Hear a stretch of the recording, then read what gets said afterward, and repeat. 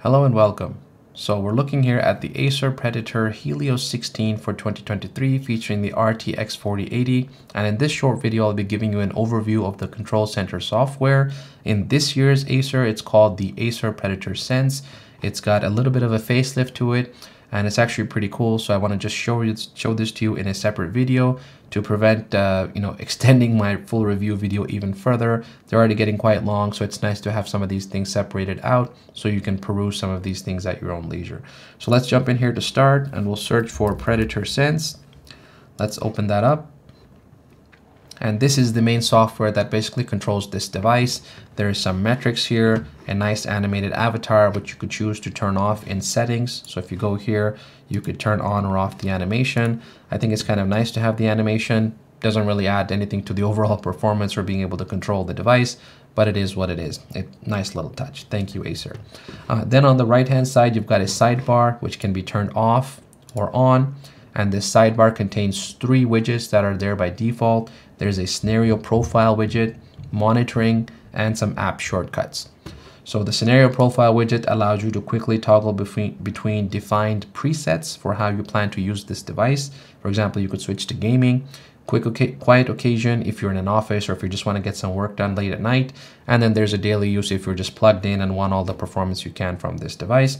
You can also of course define your custom scenario profile which allows you to set the performance of the device the the fan mode as well as the lighting modes that you have on this device uh, you can also click details to get additional information, which basically just swaps you over to the scenario tab. There's four tabs at the top here, which kind of uh, you know correspond to the widgets that are installed in this uh, sidebar here. So there's the home, home tab, which is the home screen where you land once you first open this. There's the scenario tab, monitoring, and app center.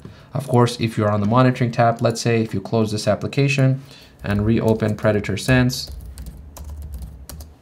if I can type correctly, that is, it will bring you back to the previous tab that you were on. So that's a nice little touch. Thank you very much for having these kinds of little quality of life things, which I think really uh, make the overall enjoy experience more enjoyable on these devices.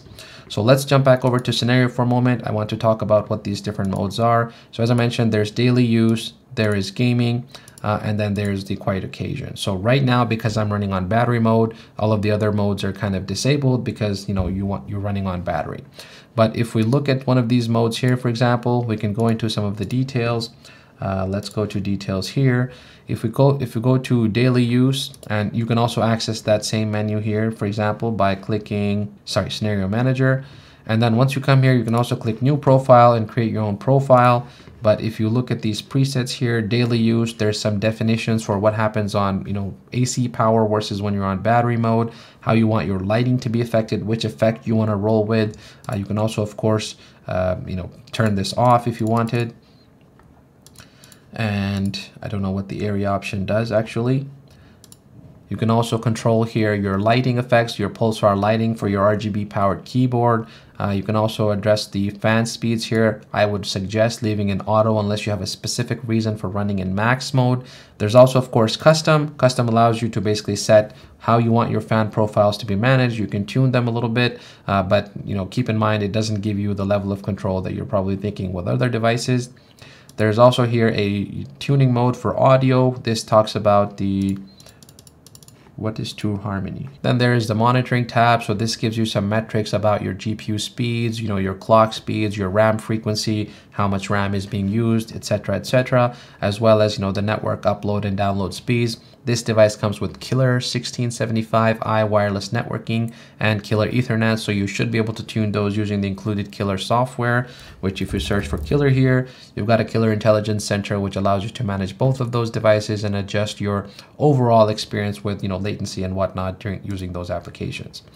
One big gripe I have about this software is, you know, yes, it looks good, nice visual with the avatar, but overall it does not give us the level of control we need as enthusiasts and powerful uh, power users of these devices and particularly gamers. If I jump over to scenario, I can go into the scenario manager, I can look at these definitions, but if you look here, that's all it is. It's quiet, balanced performance. You can have a custom scenario, but that does not give you the ability to control what these modes actually do Furthermore, there's no definition about how many watts, what the power levels are, what the thermal values are that are set with each mode. So you're kind of less left guessing and you have to do some actual testing and gameplay using MSI Afterburner or some sort of metrics tool to see what power level your device is running at. Uh, for gaming, however, it's preferred that you run in performance mode. You can also run in turbo mode. I've noticed that both modes, there's actually very little difference. So I'm surprised why, you know, uh, Acer has decided to offer both. It, they don't really actually do very much. Uh, I would love for them to actually give us some metrics here, which tells us turbo mode, here's your PL1 and PL2 on your CPU, here's the configurations for your GPU, and even, even further, allow us to have a custom mode where we can actually undervolt or overclock. With this application, there's no such possibility. You cannot undervolt and you certainly cannot overclock your GPU. So looking at the PL1 and PL2 of your CPU, the power levels, uh, the thermals of your, or even the TCC adjust as you have in the Alienware software, or even with the GPU to be able to overclock the RAM a little bit or overclock the core clock, set the thermal limit on the GPU. You cannot do any of that in this application. I think that is a huge miss by Acer, considering their intended audience for these Predator devices are enthusiast gamers. So, and also this being their premier line of gaming laptops, I'm not sure what happened at Acer, who's making those decisions, but please give us the ability to have control and give us some definitions to what these modes actually mean. There's nowhere in here that you have a help button that you could click to get that kind of information in this software. And there certainly is no mention of what type of power levels you're running as you switch amongst these modes. So the ease of use is certainly there, but if you're a power user and you're after control over your device, you can really tweak things to the way you like there's a lot left to, to, be desired here. In settings, you can actually adjust very, very little. So if you go here, all you can really select is whether you want the units to be in Celsius or in Fahrenheit, if you live in the US, for example, uh, and you can turn off this animation. So if you move here, it becomes a very static display rather than an animated icon. Uh, there is also this uh, Cloud 9 here, which I believe is Acer's attempt at sort of a social media or social network surface for gamers. It there's you know there's blogging, there's social networking, there's a chat, and some other things. Thankfully, it's not installed by default. If you prefer, you can head over to this link here and download it for yourself and try it out. I have no interest in adding additional junk to my computer and junkware, so I will leave that alone. Uh, other than that, I also don't see in this software any way to bind keyboard shortcuts to be able to toggle between the fan modes or to toggle between the different performance modes. There is on the keyboard a Predator key, so if I close this software and press the Predator key, uh, all you get back is to this Predator Sense software on the last screen that you were at. That's helpful, but overall I think that's severely lacking for a premier device in the gaming segment in 2023 aimed at gamers and power users. Thanks for watching. See you in the next one.